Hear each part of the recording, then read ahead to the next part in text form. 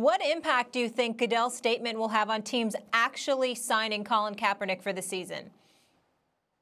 I don't think that it's going to have much of an impact. I think any kind of impact that's going to be made in the direction of Colin Kaepernick is going to be from society at large and the players that clearly appear to be willing to kneel with him.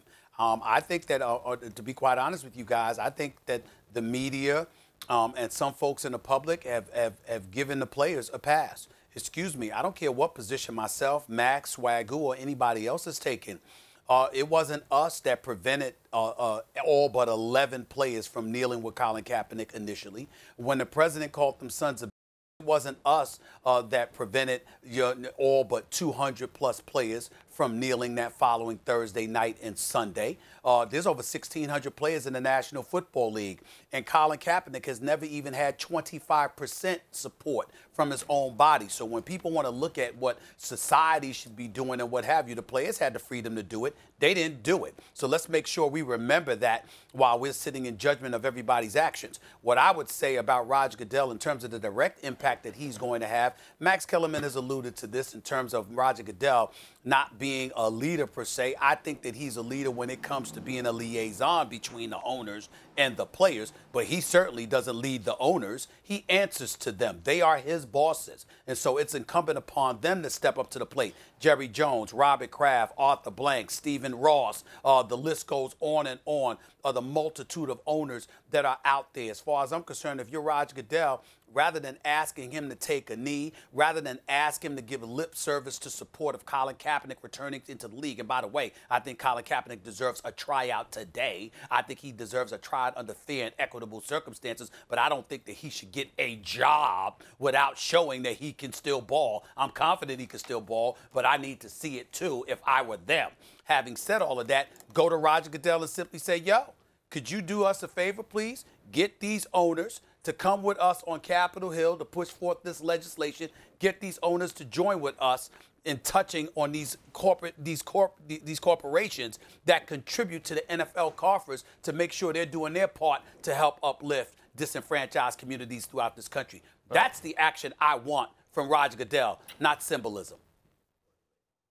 It's interesting that now the way the owners have it, the way the NFL has it, is Kaepernick, who hasn't played now in four years. Well, he may be rusty. We don't know. Probably now, maybe now he's not too, he's not good enough after he's been probably illegally, certainly unfairly denied the right to work in his chosen profession, having broken no rules. Right? Like uh, that's unbelievable. It's believable, but it's a it's a shame. Um, that said, what Goodell is saying now reflects, I think, this. To me, it reflects. Uh, uh, this is my reading of it. There are enough owners, because the owners maybe don't all feel the same way. There are enough of them now who feel it's in the league's best interest to at least feign interest in Kaepernick playing. And that says something, actually. That's, a, that's, a, that's movement from where they were a couple of years ago. They didn't feel that way then.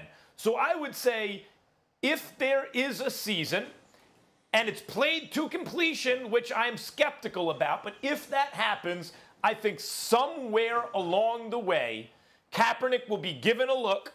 And I still believe, based on where he was a couple years ago and the fact that he's been keeping sharp or, or trying his best, working out, staying in shape, all those things, that he's probably still one of the best 64 quarterbacks in the world. And if he is, I think he'll have a job before the end of the season. I'm willing to bet my house that Colin Kaepernick is good enough to play in the league. It wasn't even a question when all of this was going down, was he good enough? Now, the people that wanted to change the narrative of it being about the flag or Colin declined and, and he wasn't having the type of numbers that you need to have, miss me with all of that. We had this discussion about Colin Kaepernick being good enough to be in the NFL a long time ago, and that's never been the question. Even in the workout, the botched workout that was put together, and he had to go out and do it his own way because he felt like it was un- unfairly set up. He still looked good playing the position. Bring him in, try him out. If he's good enough, sign him to a team. That is the that is the way you do this in football. That is the way it's always been done. Nobody, I, I don't want to speak for Colin, but I would imagine Colin. Kaepernick doesn't want a job based on illegitimacy of just being a part of the movement right. or a figurehead to say, hey, look what Swagu, I we did. give We the- put him back in the league. What's up, Stephen A? Swagu, I want to give you the last word by simply asking this question to a former NFL player. We all know that Colin Kaepernick got, got he can ball, and we believe he'd be back in the league in a fair and equitable situation.